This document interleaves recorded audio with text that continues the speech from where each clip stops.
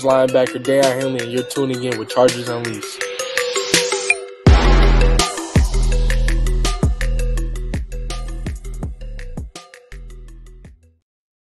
Welcome to another edition of Chargers Unleashed. Jake Hefner and Jason Balliet here for, with you from the LA Football Network. If this is your first time tuning into the show, make sure to hit that like and subscribe button on YouTube. You can also follow us on Facebook, Twitter, Instagram, Spotify, and Apple Podcast. Jason, who is filling in for Dan Wolkenstein, the part of Dan Wolkenstein today will be played by our very own uh, host of the Blueprints podcast, Jason Balliet. So even though it says Dan Wolkenstein on the banner, do not get make that make that mistake.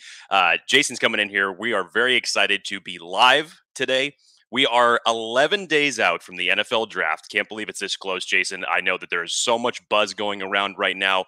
And if anything has taught us as far as what the buildup for the Chargers draft has been like over these past several months since Jim Harbaugh came into power of the Los Angeles Chargers, I can't wait to see what the next 11 days are going to have in store. Uh, but first and foremost, before we kick everything off, Jason, how are you, sir? Uh, happy that you could join us again. If you guys have not watched Jason's podcast, which is basically another uh, avenue from Chargers Unleashed. His his podcast Blueprints up there. It's a great show. Um, so very happy to have Jason on here with us today. Jason, how are you, buddy? Man, I'm doing good. Yeah, 11 days. Isn't isn't that wild? I feel like, especially now too, since uh since Jim Harbaugh is head coach, we re- we really don't know what's going to happen here, right? Because I feel like after after 10 years of Tom Telesco, and then an assortment of different coaches, a uh, complete variety, you know, just different characters from the ground up, you know, went through the entire cast, you know, and um, it's almost it's it's really interesting going into this draft because you don't really know what's going to happen. You don't know what type of player they're going to want. It's different now. There's no uh, let's go find the, the, Johnny Wilson. You know, let's go find the biggest receiver we can find, and I bet you they have their their crosshairs right on him uh, it's different this year, and so I'm really excited to to get into this draft and see like what their what their philosophy is moving forward and what they're going to bring into the drafts and over the next ten years. Yeah, so this is going to be nothing but obviously a draft roundtable powwow discussion q&a whatever we want to call it so obviously guys we're going to try to answer as many of your questions as we can throughout this next hour, hour and 15 minutes. So make sure to get everything in there. On top of that, Jason and I are going to just talk about, in general, some of the biggest storylines that we have that are leading up to April 25th. Um, Jason, again, I think we're in this position now where it's what do the Chargers do at five? And you have your, it's now kind of been split up into three groups because there's your wide receiver group where it's your Marvin Harrison, your Malik Nabers, your Rome Odunze. What do you do?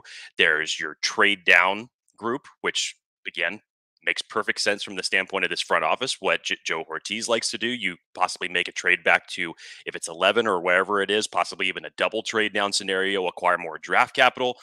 You're taking the risk of losing out on three of the top wide receivers in this class if you do that, but still, you can find wide receiver talent in this draft. It is deep enough. Or there are those that believe that the Chargers are going to follow the Jim Harbaugh blueprint, no pun intended, and strengthen the trenches and the take an offensive yes and, and, and, take an offensive tackle at five and we've seen this from plenty of the mainstream outlets and just thinking that that is what jim harbaugh and this chargers team is going to do and you know it, it it makes sense from the standpoint of what they want to install with this running game and that type of offensive system with greg roman moving forward and so now we're kind of in this, you know, three different group scenario as far as where people land of what they want the Chargers to do. In general, I know I know we're I know you're kind of in the middle and I'm kind of in the middle in between the trading down wide receiver group. What do you just what do you take away from this in, in general? I mean, is is the offensive tackle at five I understand the the idea because of who's still on the board at that point in time. I don't think that there's a lot of people when you start breaking it down from a big board, uh, best player available type of perspective that anybody would have an offensive tackle above any of Malik Nabers or Marvin Harrison Jr. I don't think that I think that there is a consensus that that would not be the case. But in this given circumstance, is necessarily taking an offensive tackle with your first pick, let's just say for this case, five? Is it is it a terrible move? Because I know that there still are people that believe that. and again, it this is mo- I think this is more people following the tea leaves and betting on what Jim Harbaugh is going to do, given his previous philosophy, than anything else. I still don't believe it. You look at ESPN prediction. It's a 66% chance, whether it's Marvin Harrison Jr., Malik Nabers, or even Rome Odunze, that the Chargers are going to select a wide receiver at five. But then you have Bucky Brooks coming on the Believe in podcast and say, if I had to bet my money, Jim Harbaugh is going to select an offensive tackle at five. So where do you kind of weed that out? Do you think that this may just be a complete, you know, we are in the midst of draft season. Is this just another smoke and mirrors type of thing where it's, I'm going to tell you everything that I think that you or that, that you believe that I'm going to do over here, and then here's the shiny object over here, and, and I'm going to surprise everybody. Would it have to, would it have to be smoke and mirrors? I mean, I feel like those so it, this really all depends on New England as well. Um, New England can shake up this entire draft. Like if if Marvin Harrison Jr. is there and they still go Joe Alt, that would be whatever. Well, we won't get into the, we won't get into that. It hasn't happened yet. I'm not going to be angry about it yet. um, I think for me, where I have that debate of offensive tackle at five, why if, if that's really the route you're going to go why would trading down not be your why would it not be your primary decision there the, the, thing you're really going for? Agreed. Um now let's say the cardinals beat the chargers to it and they trade down with minnesota. Minnesota comes up and takes mccarthy.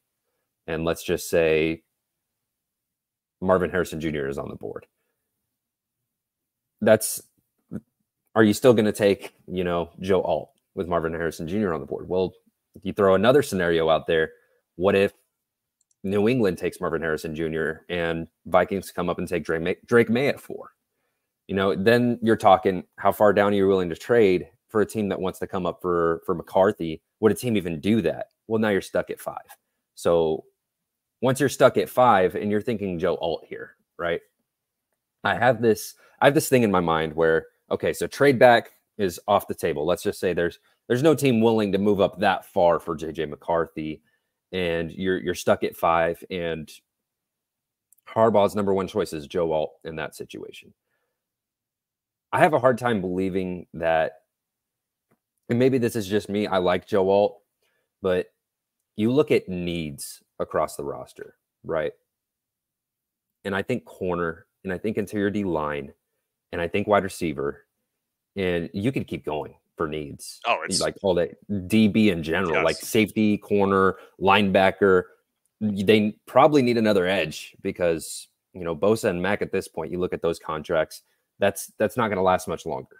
Um, and so I, I look at all this and I think, can you really, can you really pass up on you know your Quinyon Mitchell, your Byron Murphy, your Malik Nabers, and take Joe Alt at a position where you would say it's like it's not a pressing need right now.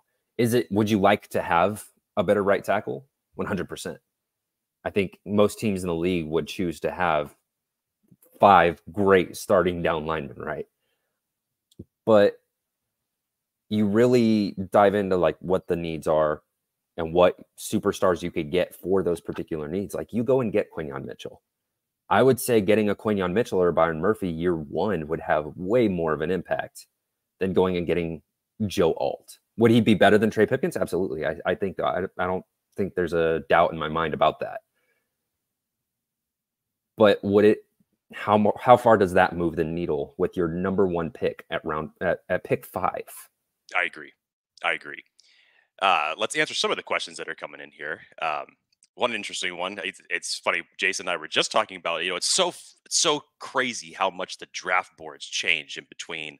You know, December, January, and then by the time that we get to this part of the draft, and I was one of the ones several weeks ago, months ago, that was talking about the option of Brock Bowers for the Chargers being selected. Where did that go? Where did that well, go? Free agency happened the draft perspective boards changed dramatically. And look, I still love Brock Bowers. I think that Mhm. as an as an offensive weapon, what he's going to bring uh, to any team that he is selected by is going to be phenomenal. Now, obviously, things have changed dramatically with the Chargers roster, with Keenan Allen and Mike Williams no longer being there, and with the Chargers going out and getting two tight ends in free agency, and Hayden Hurst and Will Dissly. I think the Brock Bowers option is off the table, even if it is in a trade down scenario right now, because as Jason was just talking about, the needs for this team, and and trust me, there will be scenarios where the Chargers are going to go BPA, but you look at how the board is going to fall in terms of what the Chargers need for wide receiver, cornerback. If it's a trade down to 11, that's still in a prime position. You, if you get that extra draft capital, let's just say with a hypothetical trade with Minnesota, and you get that extra pick at 23, that's a great option to have. In terms of just tackles in general, it's still a pretty deep da- draft class as it relates to the tackles in this class. But I would still say center is a much more pressing need. Even though you brought in Bradley Yeah. Bozeman on a one year deal, I still think you need to find that linchpin for Justin Herbert for the next several years that you need to find. And this center class is very, very good. Um, when you start breaking the film down, I love what I see from this center class. Um, here's another one. In a different universe, and I tweeted about this earlier this week, I would love to see Latu on this team. There's nothing that's going to convince me otherwise. It's just he's one of my favorite players in this entire draft. If we traded back to 11, would the Chargers still take him? Eh, I, I I- can't I can't see that happening, unfortunately. As much as I would love to see it, because if this was a scenario where Joey Bosa or Khalil Mack did not end up returning to the Chargers, this would be a much more prominent conversation, in my opinion. Because if you were to get your future edge duo of Tuli and in this particular case, Latu, that would just be so fun to It'd be watch. filthy, because I, th- oh my god, the they I think would about it. that that would just be them as a duo would be fantastic to watch. Uh, I just think because their skill sets are so similar, what they did in their final year of college, the numbers were so similar. Their Setting the edge wouldn't be an issue. Exactly. Their intangibles are very similar. So I think that there would just be so much that they would feed off of one another. And the amount of pressure that you could be getting in a hypothetical defense like that would just be phenomenal. I would love to see that. Um, Kevin, why'd you? We're gonna ignore that comment again. Didn't I come to? Didn't I say this about like two months ago? I was like, why Hey, does you this know, keep happening? hey, you know, everybody's got a doppelganger. You know, it, it happens every every every now and again. So don't let it uh, don't let it get to you. Uh, Back to Jason- Latu at yeah, I was going to say, give me. I, give I, me I your want to I want to touch up on it a little bit. I I remember texting um back in December after watching a couple Latu games, and I was like, is is this guy an option in the top ten for the Chargers? I think the Chargers were at pick like eight at the time or something like that. I was like, is that a is that an option at eight? You know, Laiatu Latu because you know you watch his tape. And I know a lot of people had questions about his athleticism. I, I really don't after his uh was it his pro day or his combine that he that he scored pretty well and I think it was his pro day. Um but I don't really have questions about the athleticism, but in terms of hand usage, I don't think I've watched an edge over the last 2 to 3 years who has better hand usage than Latu. Um, more powerful hands. The second it hits the offensive tackle, it's it's a game changer.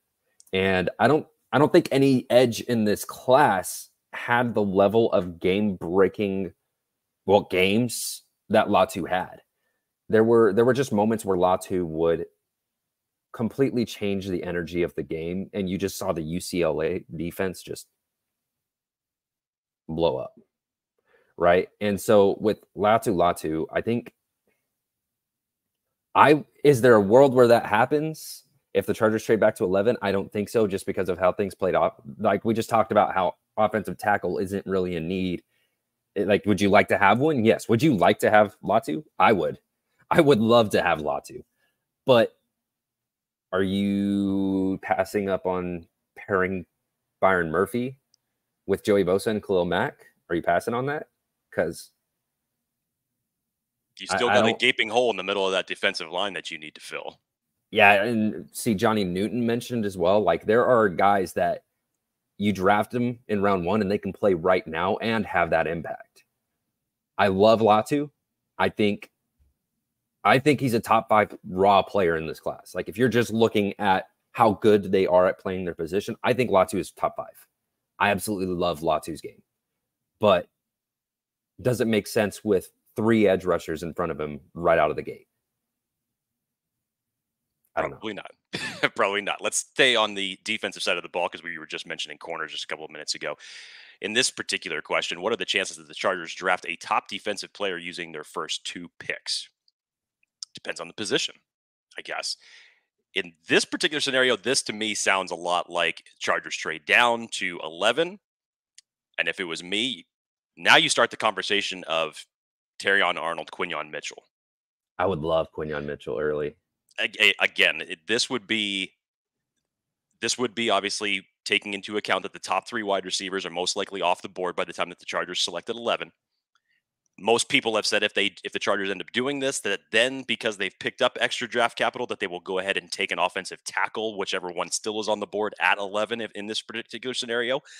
I still would kind of push back on that.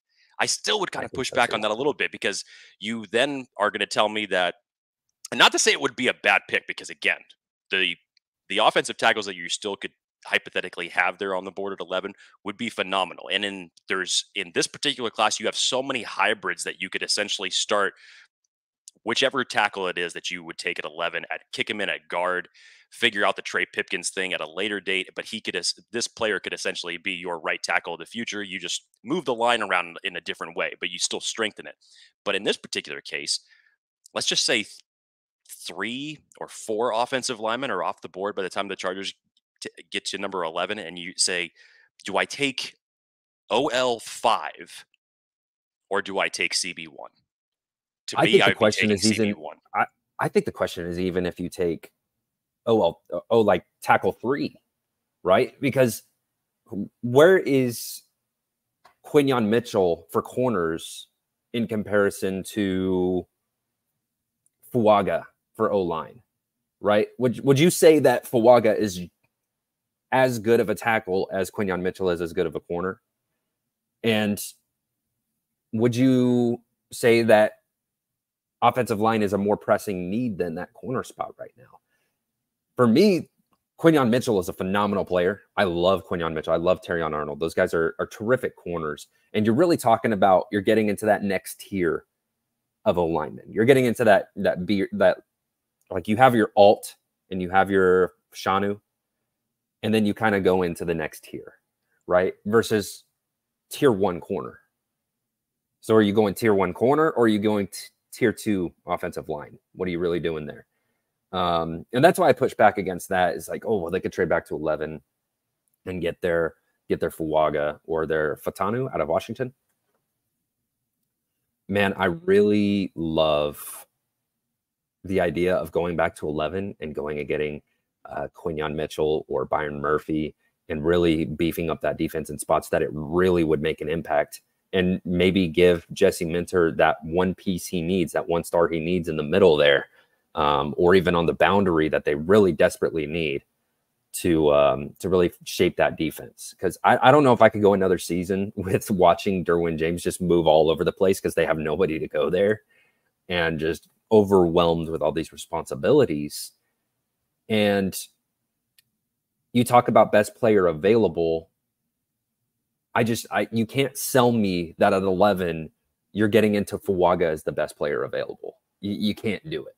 Like there's, I'm sorry, there's no way with you know Quinyon or Arnold or Byron Murphy. There's no way you could sell me on that. Um, so that's kind of like this this sacrifice you have to make there. With okay, so we're not going to take BPA. We're going to take how we want to build the team, which is OT four or five, like as you mentioned, instead of CB one or two.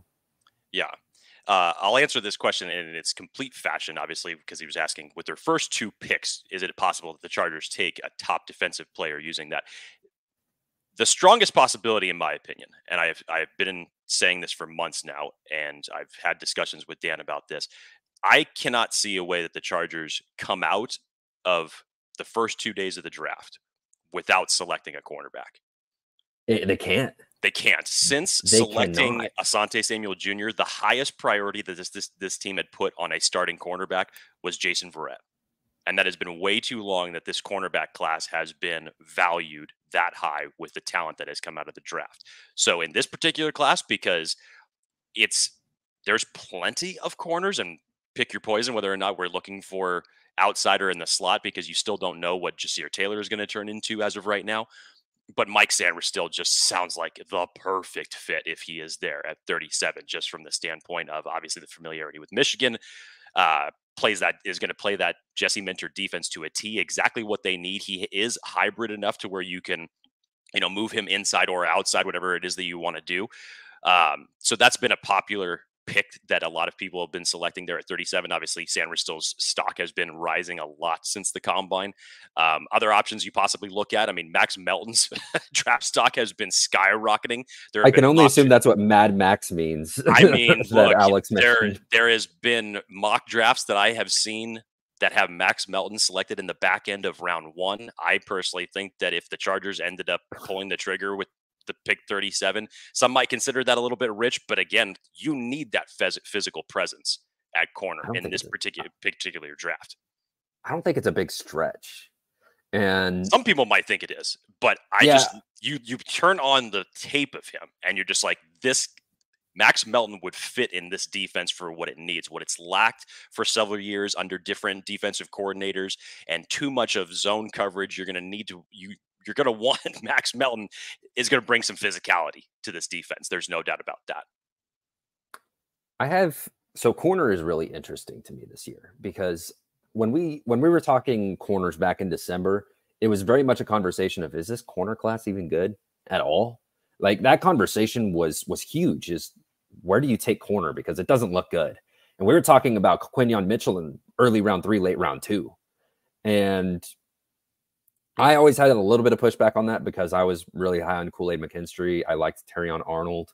Uh, I really liked those two players uh, watching Alabama. So I didn't, I, I had some pushback against it, but I definitely was there for the conversation of I didn't know what there really was after that. And it's really interesting how corner worked this offseason in terms of like they took the corners and they kind of condensed them into a group, this tier, and then they all moved up they all moved up. So all those corners that we were talking about, like round four, round five, round three, you know, the Max Melton, the Mike Sainristil, they condensed all these corners into like these three tiers, and then all three tiers moved to the front of the draft. And so now you're talking about like there's there's probably six corners that have first round grades that you can go through. And then you have that next tier of Sainristil and Melton and Rakestraw and Lassiter, and they're all at the top of the second now and you're really you, we've really moved into this this world and this goes back to the conversation we were having about how much the draft has changed where all these cornerbacks are front loaded right now. And it's turned out where i'm looking at like this is a really great corner class and i don't know where it came from. And so in round two at 37 you know you have so many guys and i the reason i push back on on max melton being rich is because those two guys that you usually see around that 37 range, or three guys really, is TJ Tampa, Rakestraw Jr. out of Missouri, and Kamari Lassiter out of Georgia. And all three of those guys have a really big downside to their game. I would say for Rakestraw and for Lassiter, it's athleticism, just general athleticism and what you're getting in man coverage how much man coverage potential are you getting out of them? Because they really seem like zone run defenders to me. That that Seattle cover three uh, archetype that we got used to for for a few years there. Whereas Max Melton, you get a really balanced corner. You're getting somebody who can kind of go into a defense and be what you need him to be, regardless. Do you need him to be a slot corner? He can do it. Um, and he can do it with size and run defense as well. And he brings that man coverage potential. And so I don't I, I push back against it being rich because I think he can do more than the other corners that we usually talk at 37 can. Like TJ Tampa, he's not a good tackler at all.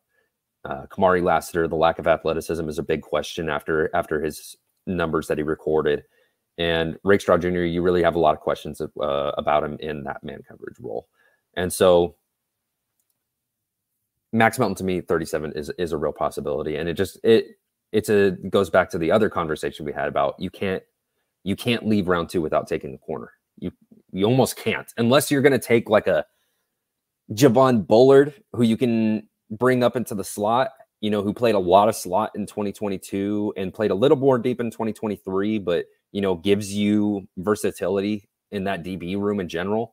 Unless you're talking about that, having that conversation, I could get that, but I think they need a boundary corner really bad before they even touch up on slot corner and you know versatile DB. And I think Max Melton is a legitimate option there. Jason, you wanted to talk about this because I know, obviously, from what we opened up the show with, now everything talking about what are the Chargers are going to do at five, possible trade down scenarios, wide receiver against offensive tackle. Now, obviously, talking about the cornerback position. You wanted to bring up as far as okay, let's get the big storyline picks out of the way. Let's move a little bit deeper into this draft. In terms of talking about what are some of the positions that the Chargers will, we assume that they're going to address, but maybe aren't being talked about enough as it stands right now. So, whether we're talking about the running back position, whether we're talking about the linebackers, whether we're talking about the centers in this class, um, in general, let's talk about a few of those. Where do you want to start? Oh man, I, I linebacker is really interesting to me. So I feel like at linebacker, what you have is you have maybe one per round for the first day or two, where you have, you know, maybe you take Pey- Peyton Wilson at the at the you know 30 to 32 range, and then maybe you take Cooper eh, at some point late round two, early round three, and then you have Junior Colson kind of that same range. Maybe you switch them depending on what you like with your linebacker and then it, there's really this big gap where I don't know if I would take a linebacker after those couple of guys until five, six, seven, in, t- in terms of like round five, six, or seven. And so linebacker to me is really interesting because do you address it? Is Peyton Wilson there at 37? Do you address it then? Because you're not going to get that caliber of linebacker in this draft again. Not even close. I, I like Junior Colson quite a bit, but the upside that Peyton Wilson gives you is is so high. And so you talk about a position that maybe needs to be addressed almost as much as any other position out there because linebacker what do they have right now? They have Denzel Perryman, Daiyan Henley, and um, Niemann. Is Dye. Niemann still on the roster? Not Niemann's still on the roster, yes, and you have Dye. So that's four that you currently So- have on the roster right now. So where so is two it special valued? teamers and two linebackers is really what you got. Linebacker is really interesting to me because I feel like you're going to have to wait until you know sixth or seventh round to really address that because I don't know if you with the amount of needs, and I have the same argument for running back. With the amount of needs you have, what round do you take a running back or a linebacker and push all those needs back? Yep. Like what round do you do that? I've seen some argue Corum in the third round. I I, I can't. You know, it's like regardless of even if I thought Corum was this running back one, some people have that opinion. I don't. Um, even if I if I thought that Corum was that, where are you taking uh, a running back or a linebacker to push all the other needs back? And that's why linebacker intrigues me so much is because you go in and you watch a Nathaniel Watson out of Mississippi State or a Jordan Magee, and you have that's really where your conversation starts. And then you're getting into UDFA territory. And so that one's going to be tough. That one is going to be really tough. And that's why I kind of wanted to touch up on linebacker first there is because I even if Peyton Wilson is there, I, I can't take him. You know, we just talked about how you can't pass up 37 without taking a corner if you didn't take one round one. And now you're going to take a, a linebacker and push that need back again. I don't I don't think you can. I don't think you have that luxury right now. And so you start to talk about these late round guys, that Nathaniel Watson, that Jordan Magee, and you find, okay, well, where are the guys with the tools that can offer me something late? Um, running back, I think, is the exact same thing. You mentioned running back is another one of those positions where it's kind of like, you know, on the on the back burner. Edge, you can throw edge in there as well. Uh, they need, we just talked about this. They need an edge eventually because you don't know how long they can push that that need back in terms of 2025, 2026. And with running back and edge, it's almost the same thing of like, how can you really push some of these things back to take a running back or edge in round three or round four? Um, I like Marshawn Lloyd a lot from USC. I like Audric Estime from Notre Dame, even though he had that really bad 40 time at the combine. I'm not too worried about that. And I just don't know how far you can push another corner. Like you're probably thinking in that range, you're probably Elijah Elijah Jones, I think his name is, out of Boston College. Um, I'm a really big fan of his. I I love the the the ball playing skills. I love the um, I love his physicality at the line of scrimmage. I'm a big fan of Elijah Jones out of Boston College. You're not getting that guy that takes the football away if you take a running back at round three, or if you take a linebacker at round three. You're you're skipping out on that boundary corner you desperately need um, because they need, as far as I'm concerned, they need two corners right now. They have Asante Samuel Jr. and that's that's really the only NFL starting caliber corner they have right now. We don't know what Kristian Fulton is going to look like. Are we going to get 2023 Kristian Fulton? 2022 Kristian Fulton was also not great. There, there's so many needs here that I don't know that you can afford to take those. But there's a world, and I mentioned this earlier, where you know you prioritize getting that corner in round one. You prioritize getting that interior D line in round one.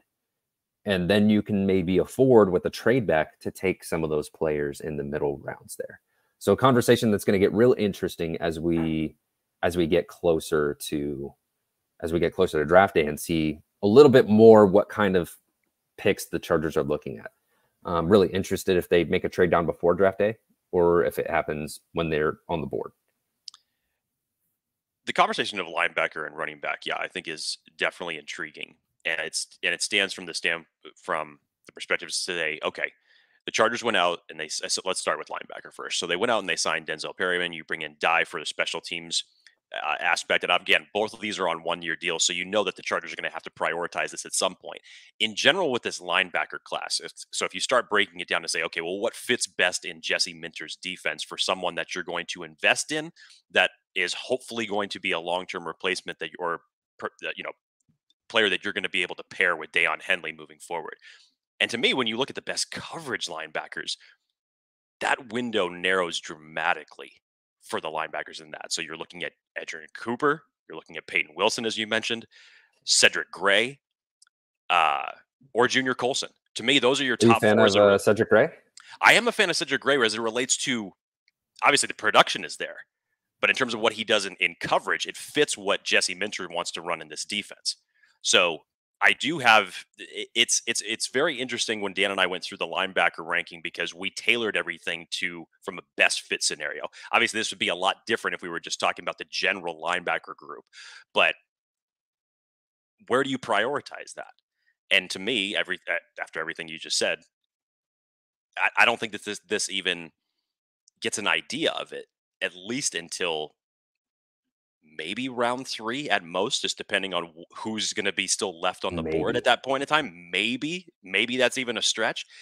The running back situation is interesting as well because some people are out there saying that if if Blake Corum was on the board at 37, is Jim Harbaugh going to do everything he can to get him? Which I don't mm. believe that that scenario is going to happen at all. I think with what the Chargers did with bringing in Gus Edwards, they obviously had a meeting with J.K. Dobbins. We still don't know if anything is going to come to fruition with that. You have Isaiah Spiller, that still, as of now, we have no idea what Isaiah Spiller is going to look like without with just the limited amount of snaps that he has gotten so far in the league. What this does, I think, is actually a very good thing for the Chargers because this running back class in general is kind of pick your own flavor. I mean, people have Eh, there's not really a consensus number one running back in this group. Everybody's got their different guy that they believe is the top running back in this class, which totally makes sense. And I get it. What what's your flavor of running back? What do you like? Who, who's yours? As far as my number one guy in this class, I would say it's Jonathan Brooks. But I'm okay. a huge Jaylen Wright fan as well. And like you said, Marshawn Lloyd, I think, would thrive in this offense. But I think for the standpoint to say, okay, you've got Gus Edwards now. I think that they are totally going to be comfortable moving forward with a very Raven esque backfield where it's running back by committee. Where, yeah, you have Gus Edwards as your pseudo RB1, but he's not going to be the only one that's toting the rock. And if you were to tell me in a situation like this, I obviously understand your perspectives on Blake Corum, but let's just say for the the aspect of to say, is Blake Corum going to tote the rock every single down in this offense? No, but is he going to be part of a group that's going to do that? I could see that benefiting a lot of people. I think Marshawn Lloyd would be great in this backfield with Gus Edwards. But now, just in getting back to this discussion, where does that prioritize where the Chargers possibly address the running back scenario? I think it pushes it down, but in the best possible way. Because at that point, if we're saying, okay, the Chargers are going to take another run running back on day three, that's fine because you don't have to find your RB1 in this scenario. Now you can get a mixture of guys back there that can do a lot of different things and make what you will of it in that running back by committee style. But I think that that is it's a great thing for the Chargers in that circumstance because I think that they can push that need for running back down to day three, and you could still find a very serviceable running back to come into the mix of this group like that because I definitely think that that's what they're going to install. Yeah, and I mean you don't take a piece of the committee at 37. You don't do that. Um, if he's going to be a piece of a committee, you're not you're not taking him until that day three. Now, if you're if you're taking the workhorse, and I think there's a couple in this class, then you can have the conversation. But again, what are you willing to sacrifice to take one at 37? And there's too many positions that you're that you're pushing on the back burner. Like you're talking about, say they take a receiver at five and they're not trading down, and they take running back at 37. You still need a corner. You still need another lineman you still need another receiver eventually.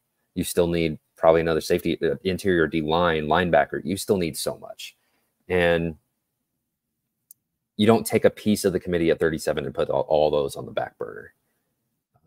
I think the only there's there's maybe two or three running backs I would be I mean I would still not be happy about it, but I would understand why they took him at 37. And I'm not saying I would be happy about it at all. In fact, I would be quite the opposite. I would not be happy about it. But Jaylen Wright, you can clearly see if they took him what their goal is there with him and Gus Edwards. Like you can see that. And so I would get it from a certain standpoint of okay, well they they just got Jaylen Wright at 37. This is the kind of team they're going to build probably going to be a lot more movement in the offense. Trey Benson, I think Trey Benson is he reminds me a lot of Jonathan Taylor. He he really does. And for those of you that don't know, Trey Benson is my is my number one running back in the draft. That's that's my number one. And so I but again, even my running back one, I can't look at all that. Look at all that that's back there that you still need, and you're taking a running back at 37. I can't do it. I can't do it. Give me some of your. I, and I, I, always like asking this question because every there's so many different ways you can go, and everybody in the chat, you can of course drop this as well as in terms of your guys' perspective on this. Some of the like you know Dan uh, Dan's coined his phrase now you know the Dan's dudes as far as Dan's what he, dudes. His some of his favorite players in the draft, regardless of position, regardless of round, whatever it is that we're looking for. You know, just give us kind of a broad perspective here in terms of who are your guys, because I know I've got a handful of mine as well that obviously I've just been pounding the table for. Um, which normally means if I'm pounding the table for them, the Chargers aren't going to end up selecting them. so, but hey, who knows? Uh, but Jason, a couple of years. Who are some of your guys that you are really going to bat for in this draft, regardless of position or round? Uh, so I already mentioned Trey Benson. That's that's a guy I think should should be talked about in the early second, late first. You watch too much of his. It's Blake. no, I, I I'm laughing at uh at that. No. So Trey Benson is uh is a guy I'm really excited about in terms of late late first, early second. You you watch his breakaway plays, and most of the time, it's even after he reads the gap a little late, and he still gets it because he he forces those t- missed tackles like it's like it's nothing. And t- 2022, even more so than 2023. You look at 2022 Trey Benson, and you're like, this dude is going in the top 15 da- like he he was really good in 2022 and 2023 he, I still saw it. I still saw it. It's just, you know, the line wasn't as good and you know, the there were just little pieces here and there in terms of middle of the play that he would get that he would get tripped up or such. He was still just as good in 2023 to me as he was in 22 22. It's just the circumstances around those plays were a little different. So I would say I would start off with Trey Benson as one of my guys. Um, and I'll kind of take this by by round a little bit here by day. Uh, day two, one of my guys I've been pounding the table for for since December is Javon Bullard out of Georgia. Yeah, you're big on Javon Bullard. I am a big Javon Bullard guy. So Javon Bullard is I talked about this a little bit earlier. I touched up on it that guy you go and get if you want a safety who can play in the nickel, can play in the dime, a guy who can play that robber role really well when he does play deep. Um, if you want to free up Derwin James and Alohi Gilman a little bit more, you go and get a guy like Javon Bullard, and it still helps your DB room a lot. And with Bullard, what you're getting is that versatility that you almost need three safeties in today's NFL. You almost do. Uh, in fact, I would say in Jesse Minter's defense, you definitely do need three safeties. And at this point, they don't have the third safety behind James and Gilman. And you insert Bullard into that conversation, and I think you've got, I think you've got a, a DB room that can really turn it around in the next, in the next year. But you still have boundary corner, right? And that's why I mentioned Elijah Jones earlier you talk about another corner in like that early day three, Elijah Jones, who had a lot of playmaking ability, a lot of ball skills in his in his last year at Boston College. Five interceptions, I believe, last year, and really athletic guy that you could bring into the cornerback room if you're if you've missed out over that period of time. We talked about maybe they take running back early. I would advise against it, but maybe they do, or they take linebacker. Um, it really depends on what they prioritize early, and if that gets pushed back, you're talking about that Elijah Jones, and I already mentioned Nathaniel Watson earlier. That's another guy I would mention as as one of my guys. And then I, would like to think my bread and butter is wide receiver, and that's where you really get into like the Malik Washingtons and the Ryan Flournoys out there, and the Jacob Cowings. I'm a big fan of Jacob Cowing. His tape is so good. I know the numbers aren't quite there, but his, his tape is so good. So a lot of guys I really like in this class, and guys that are available to you from from top to bottom yeah, I would say mine are some of the more prominent names. Obviously, with Zach Frazier. I just love Zach Frazier's game, and I'm again, I'm very bullish on this center class uh, as it stands. I still believe that if he didn't get injured, it would definitely be, you know, who's gonna who's gonna be the first center off the board. And to me, it would have came down between JPJ and uh, Zach Frazier in that conversation, and it would have been a lot closer than what it's basically projected as it stands right now. Braden Fiske is another one that I just absolutely love. And again, we're talking about priority for where Edge is going to uh, ultimately be end up taking in this draft. And do you have Fiske as an edge? I know that he can. I know that he can come off the edge, but and, and, he is more of that hybrid in terms of what he can do along the defensive lineman, and that's what I think that I like him. It's a little bit more in that, I guess, in that Morgan Fox type of mold, if you will. And I just love what I see from his game, man. It's just the the the intensity that he plays with, the nonstop motor that he comes off the snap with, uh, and everything like that was obviously shown very well at the combine during his testing in terms of his athletic ability and what he's able to do. Um, but I think it just in, in terms of just getting a guy who would just play like every every down like his hair is on fire. That's something that I think that this team, especially along the defensive line, absolutely needs. And Fiske to me is one of those guys. If we go in the cornerback department, Renardo Green out of Florida State is another one that I really like. Um, you know, great size and athleticism for him. Great in coverage, great is in terms of what this defense is going to need. I really like what I see from the tape of him. Um, you know how I feel about Latu. Obviously, can't can't get out of that conversation without saying that he's one of my guys in this draft. Uh, good at football. Yes, he could just make it as simple as that. He's good at football in that circumstance. Um, shift this over to the center conversation because I know I brought up Zach Frazier there a minute ago. Bradley Bozeman obviously is a stopgap option as it stands right now. One year deal for that. I don't think that I've gotten a chance to have a conversation with you in general as far as what this center class is bringing. What do you see from it? Who do you like? Where do you think the Chargers ultimately end up prioritizing it? I feel like it's a little underrated. I feel like I feel like every time you get a guy like JPJ up there in the in like that mid to high first round range, and I don't know where his stock has gone. I've heard it's gone down. I've heard it's gone up. I don't know. Um, but there's a there's a lot of guys here that you that you can like in different schemes. Like Zach Zinter is a guy where if you get him a little bit into a power scheme and let him get his hands on guys easier, um, he's absolutely a guy that can be a very serviceable center for for a while if you get him into the right scheme, like a Greg Roman scheme. Uh, so so Zinter is one, and I know he, I believe Zinter. You're thinking of, guard, you're thinking Zach. Right? Z- yeah, I was gonna say I think Zinter's slotted more as a guard in this class. Yeah, I I I like him. I like him as a center too, and I know I've I've had some conversations where where people think he can play center at the next level, but um, there's a lot of interior O line options, and I know Harbaugh also mentioned um, what do you say, McFadden as a center option, or was it uh, Jordan McFadden as a possibility to slot in that center option? Was it McFadden? Yes. Okay, okay, I wanted to make sure. Um, so I know I know that's also an option. I think if you just add more to the interior offensive line, um, Drake Nugent is another option here. CJ Hanson.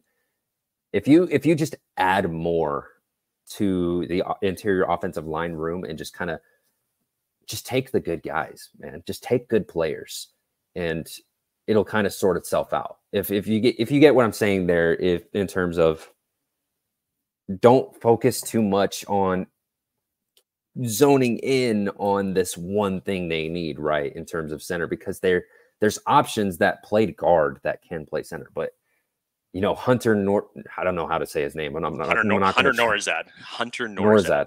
Yes. Nourzad. I really like him as well. And so the the class just goes so deep. And I don't really separate by center. I just separate by interior O line versus offensive tackle. And there is that, you know, some guards can't play center, but those names that I mentioned, I definitely all like for the center position. Zinter, I think, would actually translate to, to center extremely well. And that's just my take on it. I think if you get him into more of a power run scheme and let him get hands on and move bodies, I think he would be a really strong center for for a scheme like that. Yeah, again, uh, you know, Zach Zach Frazier in the in the second round to me just it seemed would seem like a logical choice if the board ended up falling that way. I, I don't even was, know if he'll be there. It's it's it's possible. I know that there was talk again, and this is where the draft conversations shift from month to month, but there was conversations at one point to say, oh, is there a possibility that three centers could be taken in round one? And again, that, that conversation took place months ago. I think we're away from that. And especially with everybody talking about Graham Barton from Duke, you know, translating to that center position because he can basically play anywhere along the offensive line if he wanted to, but his size just sizes puts him well there at center. But Zach Frazier, I think, who was it? It was um, uh, it was Field Yates that did his mock draft where he had the Chargers trading back to 11, taking I believe it was J.C. Latham that he had him taking at 11, and then at 23 he had him taking A.D. Mitchell, and then at 37 he had him taking Zach Frazier. And I said, oh, you know, hey, that's not a bad way to start cooking in a draft. And I I liked that way that it could possibly play out. And again, I still think that 37 is a viable option for Zach Frazier at 37, depending on how the board is ultimately going to play out. Sedrick Pran out of Georgia, I really like his athleticism. Obviously, for how quickly he can get to the second level when you start putting uh, some of those plays out there in, in the screen game. Again, you talked about Hunter Nourzad at Penn State in terms of overall fit. Greg Roman, I think, would love to have Hunter Nourzad in this particular system. Drake Nugent for what he did in Michigan, I think he's very intelligent at the center position. I think he is a uh, a bulldozer when they need him to be, and he's a great pass protector when called upon. So I really like what I've seen from his game. Tanner Bortolini out of Washington, or uh, I was about to say Washington, excuse me, meant Wisconsin, is one of the most athletic centers in this class. Maybe doesn't have some of the overall intangible grades that some of the other uh, centers in this class too.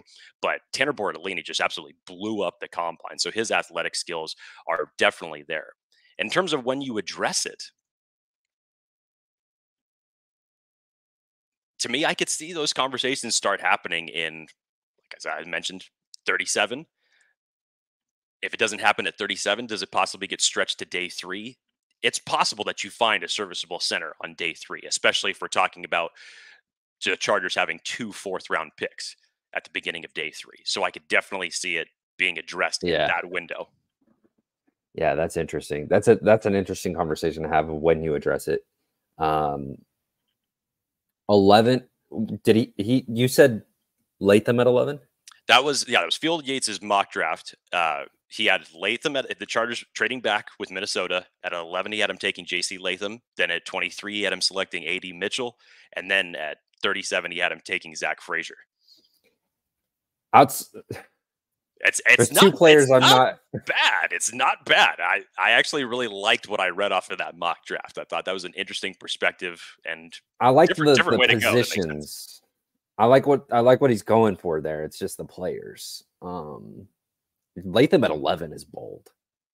Uh, AD Mitchell at 23 is bold too. Those, those are two bold picks. I love the Frazier at, at 37. Um, I'm not as high on AD Mitchell as I think everybody else is. I think I'm a little little lower on him. Not huge. I'm not saying I have him way down the board or anything like that. Um, it's just with AD, AD Mitchell, I have a I have a little too many questions um, to to go and select him and be the number one wide receiver. I think if they still had Keenan Allen, I would be I would be open to that, at, at, even at 23, because then you're talking about um, then you're talking about you can assume that risk a little bit, but with Quentin Johnston on the roster and going and talking about AD Mitchell at, at 23. And I, I have concerns about AD Mitchell in terms of some of the tape. I like the tape a lot. He's one of those interesting players where he has some tape where he just flashes and you're like, yeah, I can see it. Um, and then you look at the numbers and then you see some of the bad tape and you, you get some questions about, I don't want to say effort because I'd never like questioning somebody's effort like that but in terms of like the in between, like what happens in between those flash plays, and I have some questions. Jason, I'll give you this question to you, uh, Steve Simmons here. How do you how do you guys feel about? I'm assuming he's mentioning Ladd McConkey or Xavier Legette. How do you feel about both of those guys? Legette, you got to have some concerns for the late breakout, but if you put his 2023 tape in a vacuum and ignore the rest, I can see why he gets some of that hype to the Lions in the first round, for example. I can see I can see why he goes in that range for some people. Uh, it's just the late breakout and some of the the fluidity in his routes in terms of those concerns. Ladd McConkey, I've actually flirted with the concept of him being like the wide receiver four of this class. And you know, him and Pearsall are really good receivers that I think kind of get unfairly labeled into this slot role like, oh, they're like a power slot guy. And it's like they're good outside receivers and they're athletic dudes. And for for Ladd McConkey, the reason I've, I've kind of flirted with that wide receiver four conversation with him is I don't know if there's a better outside of like the the top three you get into that conversation where he might be the best route runner in the class outside of like the Odunze, the Nabers, the Harrison Jr. You really get in that conversation where McConkey might be the best route runner in the class, the best separator in the class. And then it moves into, well, he's also the one of the more athletic wide receivers in the class. And you put those two things together, and it's hard for me to it's hard for me to see him falling to even the second round. And there's just some fits I really like for him in the first round. And so like at 23, if you like if you get that pick, that's how I feel about McConkey. Like it's a conversation for me. This will be the conundrum I think that the Chargers are going to be in sticking with this conversation on the wide receiver. If let's just say that what people are presuming, or some people are presuming to pass that the Chargers went offensive tackle at five again, hypothetical here. You think about how many wide receivers you're potentially going to pass up throughout the first round. You're going to start off the second round with Carolina with their first pick of the draft. Most likely that's going to be a wide receiver to get help for, for Bryce Young in that circumstance. If New England ends up taking a quarterback at three, which a lot of people expect them to do, they will most likely be taking another wide receiver at, with their pick as well before the Chargers are on the clock at 37. If you get into that type of scenario where, let's just say, if the Chargers did take a Joe Alt at five, how are you going to how would anybody weigh that at that point in time because we've talked about the need for corner to get out of day 2 at that in that scenario now you have all these wide receivers that have now been taken off the board before you ultimately get to select at 37 i still think you can definitely pick one at 37 that's ultimately going to be productive for you. I'm not trying to knock the wide receiver class in that scenario but these are the these are the kind of the devil's advocate type of scenarios to say whether it was whoever whoever whatever position group that you believe that you're higher on these are the type of cause and effect moments that ultimately end up playing out for you along for the draft so if the chargers ultimately ended up sticking and picking at five and hypothetically selecting joe alt i think the opportunities from a standpoint of their biggest need on the roster as it stands right now at wide receiver not to say that they can't fill it, but the talent that you're ultimately going to pass up on by possibly doing that, that's a stretch. Yeah, you're talking you like worst case scenario there is they could be picking like wide receiver 9 at 37. Like they could be deciding between some guys that they didn't expect to be because the wide receiver class truly is that good. Um and that brings another issue is like you take Joe Alt at at five, you miss out on a lot of those wide receivers. Let's say you let's say you have let's let's find a good one here in terms of like that range at like we'll we'll say around like the 45 range. That way we can kind of simulate that um those wide receivers going off the board. And you're talking like a like a Troy Franklin maybe. Uh, Troy Franklin or a Corley, Malachi Corley. And that's where you can kind of talk about, okay, here's our best receivers at 37. Maybe Keon Coleman is there. He, he's been an interesting topic in terms of like how how high and low like he's gone. Uh, it, it doesn't seem that long ago he was wide receiver four in this draft. And so now you're talking about maybe you take a Troy Franklin or a Malachi Corley at 37 or Roman Wilson at 37. Let's say you do that right? Let's say you go Joe Alt and then you go Roman Wilson because I know Roman Wilson is a, is a favorite of a lot of a lot of this fan base uh, for for obvious connections to to Jim Harbaugh in Michigan, and he's just a good receiver. He's a he's a good separator. Let's say you do that, you have now gone two rounds. You're going to be in the third round, and you haven't gotten an interior D line. You haven't gotten a corner. That's that's an issue. That's a big issue because now you have this situation where after after that first wave of interior D linemen, you're getting into some guys with questions. Uh, one name that pops up to mind immediately is Maason Smith out of LSU, um, who is kind of like that opposite of your guy Fiske, Fiska, Fiske, Fiske, Fiske. Fiske. Oh, that's cool. Um, it's kind of that opposite problem where he has the measurables. He has the explosive. You ha- you can see why he was this five star recruit, and you can see why he offers so much potential. But it's the opposite of Fiske, where the flashes on t- the flashes on tape aren't there. With with Fiske, it's there. The flashes on tape are there. It's just he doesn't have the measurables. With with Smith, it's it's it's really the opposite, and it's really an issue once you get into this range for interior D line, because it feels like every single player at that at that spot for interior D line has question marks, like big question marks, not little ones, like big question marks. Like why were they really not good in 2023? Because you getting you're getting into this conversation where uh, Mekhi Wingo, I think Mekhi Wingo is like six foot. Isn't he like six foot exactly? and outplayed Maason Smith. Like I know Mekhi Wingo is higher on some people's boards than, than Maason Smith.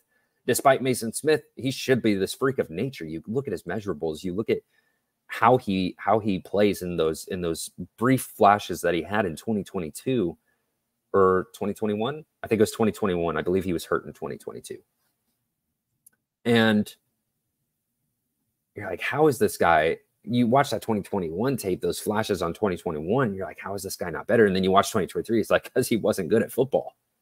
And so that's that's where I get a little more concerned is you skipped out on these two positions that you really need because you wanted to go Joe Alt at five and then a wide receiver at 37. And now you're talking about you still need interior D line and you still need corner. Khyree Jackson's stock has been going way up. He might not even be there in the third round. You're talking about maybe you have to go in Elijah Jones, like I mentioned earlier. Maybe you have to address it at 37 instead like a corner or interior D lineman and wait for Javon Baker in the third round in terms of wide receiver. And so you skip out on wide receiver at five. I don't know how you can address it at 37 without having like some serious concerns on skipping corner again, on skipping interior D line. I think you have to wait for wide receiver again. I think you'd have to keep waiting because at that point you're you're really digging yourself a hole. Yeah, the other side of that coin is if you got to that point, you selected an offensive tackle. Now, now you're talking like positions aside. 37 has actually been a popular conversation for the Chargers to say, okay, if they stayed put, and let's just say if they took Marvin Harrison Jr. at five, 37's become a popular topic to say, okay, well, the Chargers could possibly just they would trade down in that scenario and get some extra draft capital. Imagine if you did this, if you ended up taking Joe Alt at five. And then you ended up trading down. And then to push that needle back to say, okay, well, yes, you you gained more draft capital but now you're going to have to wait just a little bit longer if you're going to end up taking your wide receiver or your corner or whoever it else that you end up making that overall second selection with. So again, offensive tackle in terms of that conversation, it's not it's I'm I'm not poo-pooing that as an as a possibility for the Chargers to do in the first round. But in terms of the difference of selecting it at 5 as opposed to selecting it at 11 and getting more draft capital still again seems like the more logical choice. Uh, Jason and I are going to be on here for another eight minutes or so. So anybody that wants to fire off uh, some questions here before we get off, go ahead and just uh, uh go ahead and send them into the chat. Appreciate that. Um, I think in, in general, as we're getting closer here again, 11 days to go until the NFL draft. Uh, so much buzz and intrigue as for what the Chargers are going to end up doing do you see any possibility of like a surprise scenario, Jason, like a total curveball, like to say, okay, let's just say in the first three picks, I know we've all been talking about it's like, okay, they got to do a wide receiver, they got to do a corner, and put in, you know, another X position. Do you think that there's going to be an out of left field type of scenario to say, oh, well, the Chargers addressed that position? We didn't see that one coming at, at that particular spot.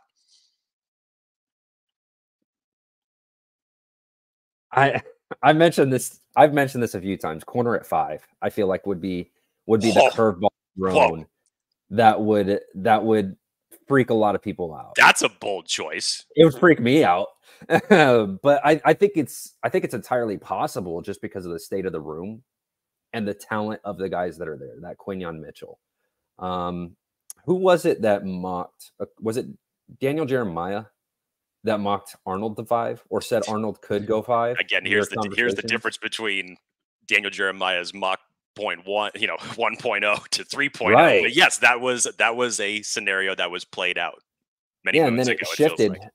Yeah, it shifted from there to hey, it's going quarterback, quarterback, quarterback, receiver, receiver, and maybe receiver again. And so I feel like that curveball could be. I mean, there's so many options that could go as a curveball. Um, man, Byron Murphy could go a lot er, sooner than we think. I think there's a real chance he goes in like that top eight range. Um, whereas you know before Byron Murphy was often talked about in that like second or third round. But I would say I would say Quinyon Mitchell at five would probably be my curveball. where like I could I could see it happening. That's not just a curveball. That's like multiverse eight three eight scenario. that's like that's yeah, an ultimate that's... scenario right there. Wow. Uh, if it was me, I would say, and this and this would probably be in a trade down scenario, but I I could see a I, maybe this is me talking with my heart more than my head realistically, but if hell, if you wanted a really curveball scenario, Chargers select an edge in the first round and they go that direction. Ooh, I, yeah, yeah. Again, that's me speaking more from here just because if there's one particular player that I would love to see don the powder blues, of course. But that would be my ultimate curveball scenario. Uh, Jason, let's answer a few of these questions that we've got here in the chat. What are the possibilities they actually trade down, considering that the likely options for them to trade down would be the Vikings, the Raiders, and the Broncos? Right off the bat, I'm going to say it's it's very unlikely that the Chargers ultimately end up doing a trade with either the Raiders or the Broncos. If this was for any other player that they were coming up for that was not a quarterback, I would say that the Chargers could likely do a trade down scenario in this case. But now you're talking about, let's just say quarterbacks go one, two, three, four. So now JJ McCarthy is the final quarterback that's left on the board at five. Do you want to let your division rivals have that player? And in my opinion, I wouldn't. You don't no, you don't give your division rivals a shot at their quarterback in the future. You don't do it. At a franchise quarterback, could you imagine trading down to the Broncos and giving them McCarthy? And then McCarthy ends up being this like superstar quarterback. Even if you're not confident in your even if you're confident in your analysis and think like, oh, JJ McCarthy. But I mean, your head coach thinks JJ thinks JJ McCarthy is the number one quarterback. You probably don't give the number one quarterback in your head coach's eyes to Denver. You probably don't do that. And so I would say no way. I would say if you're looking for options, um, Minnesota at 11, yes. Um, Chicago at nine. Nine, right? That's where they pick. That's where they pick, a, pick again. If, okay, so Chicago, yeah, Chicago wants to jump back up, yes. Um, I could see Chicago moving up for a Nabers or a Odunze. I could see it. Uh, if you're if you're comfortable with trading down a little further, Indy at 15, who reportedly has serious interest in Malik Nabers that's another option you could go in terms of trading down. But I don't know. I I, I could see it happening just because the amount of needs and the stress they've put on how much they want to accumulate more picks. And I would I would like it because as I've mentioned multiple times, Quinyon Mitchell is one of my favorite players in this draft. I think he's an extremely talented player. I think he might be the best defensive player in this draft, maybe. Um, if not, he's up there. I would I would consider you know trading down a little bit, maybe the nine with the Bears, and uh, getting yourself a Quinyon Mitchell. I would love that. Can I see it? We'll see. Do you guys consider 2025 picks in a trade down? My thought is the team isn't going to win a Super Bowl this year, so why not load up on picks for multiple years? Yeah, I think this is absolutely in the conversation, especially specifically with Minnesota because of the lack of capital that they currently have in this particular draft outside of the first round, yes, you're going to be addressing that. People have said that they wouldn't take a third round in 2025 as part of that trade package. They would need it to be a little bit more rich. They would want essentially Minnesota's first round pick in 2025 as well on top of 11 and 23 this this coming draft which probably if you if the Chargers ended up doing that there would be a lot of people I would think that be saying fleece in in that scenario because if you look at the draft metrics as far as how the value board works, the Chargers would definitely be getting more if they ended up playing that out. In general, do the Chargers consider 2025 picks in a trade down, whether it's at five, whether it's at 37 or any point in this draft? Absolutely. I definitely I think, think that. I, I think Joe Hortiz is definitely thinking long game here in terms of how he wants to build. He's spent 26 years in Baltimore doing it that way. So, no, I, I don't think that 20, 25 picks are off the table in any of these trade down scenarios. Uh, let's look at a few other questions here before we get out of here. Uh, searching, searching, searching, searching, searching.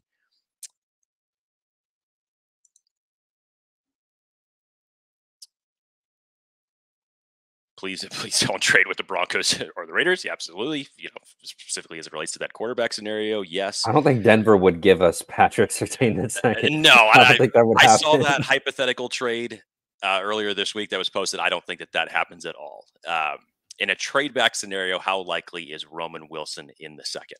I think Roman Wilson in general, trade back scenario or not, is a very likely option for the Chargers. Again, you look at the overall fit, what he would want, what he would bring to this offense in terms of he wants to do. You've heard him even say the whole no block, no rock quote. He knows exactly what he would need to do in this offense with Greg Roman. And for everything that we have seen thus far with Jim Harbaugh and Greg Roman in terms of the pieces that they've been putting out there in terms of the offense that we believe that they're going to want to run. One thing we know for sure is Jim Harbaugh wants to revitalize this offensive line in this running game. And Roman Wilson, in terms of what he can do, not only as a pass catcher, but what he could do as a blocker, would fit into this uh, system just like a glove. I, I, I would not mind seeing Roman Wilson uh, donning a Chargers jersey at any point in this draft, at, in any scenario. Yeah, I went into Roman Wilson's tape expecting like a vertical threat and like a, a speedster. I was really impressed with the separation I saw uh, from his tape. He's a he's a really awesome option in the second round. I think that should absolutely be on the table. Spoiler alert on this: we're not going to do a mock draft today, but as we get closer to the draft, we will be doing a mock draft, and I assure you, it will it'll be chaos as, as we get into this, like most mock drafts are, because as soon as you hit complete, uh, virtually everybody hates it, and all of your picks were wrong, and that's just how it ends up playing out. With I want to do one really bad, but the, you know that's the beauty of mock drafts, man. That's the beauty of them because there's just so many different scenarios that you can play out, and you're going to get criticism one way or another when you end up completing a mock draft. Just that's just how it goes. But uh, believe me, we will be doing mock drafts. Um, our big one, like we normally do and that we've done in years past, usually happens the week of the draft. So look out for that between Monday and Wednesday of next week that we'll ultimately be doing that mock draft. Uh, looking forward to it. So we're going to go ahead and wrap up for today, but definitely was looking forward to this live conversation again. 11 days until the 2024 NFL draft. Jason, thank you so much for coming on. Really appreciate getting a chance to talk some draft powwow with you. Always good to get another uh, perspective in here and talk about it because I definitely know that in terms of the spectrum, you've got your differences as it relates to draft prospects. But hey, there's some good ones. And so I really enjoyed chalk, talking chalk with you, and we'll look forward to having you on here in the next 11 days leading up to the draft. Thanks again uh, so much to everybody for tuning in. Chargers Unleashed, Jason Balliet, Jake Hefner here from Chargers Unleashed. We will see you next time on Chargers Unleashed.